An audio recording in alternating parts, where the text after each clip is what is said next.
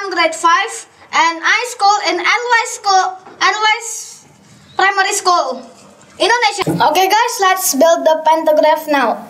This is the dual hole rod. This is the dual hole rod same but this is the smaller one. And this is the hole rod like this. And this is the frame axles and this is a long pack. I don't know why it called long pack but it's not too long. And the gears. Pencils rubbers and pack remover. And so let's begin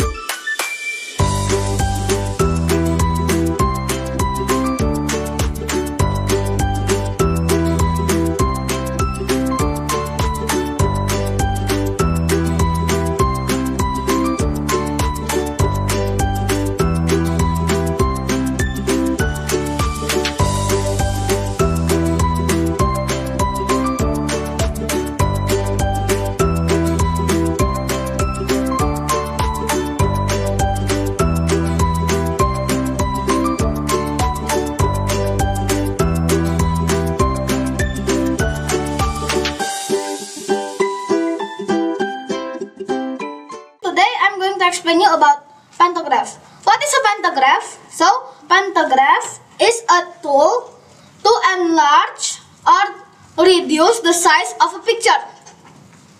So, example, if we example, if we wanted to draw a picture that is the picture is small, but we wanted to make bigger, use this tool. But if example the picture is too big, but you wanted to make it small, you can use this tool too.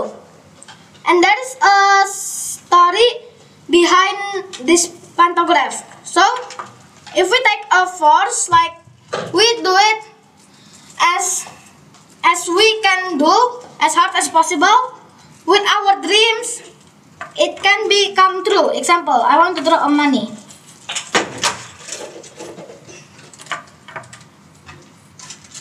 That is not the result. So if so we should use our force our energy, all our energy added with uh, our dream and that's through. Thank you. See you next time. Bye.